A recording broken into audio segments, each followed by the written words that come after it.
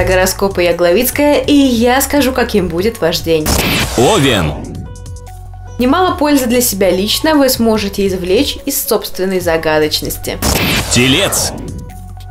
Жажда успеха и новых ощущений может привести вас к открытиям. Близнецы. При общении с начальством могут возникнуть критические моменты, особенно если ваш шеф – женщина. Рак. Служебные отношения у представителей вашего знака значительно улучшатся. Лев. Потребуется много времени на то, чтобы ваш новый тандем перерос в любовь. Дева. В любви наступает период мелочных недовольств. Весы. В этот день для вас могут происходить изменения в финансовой сфере.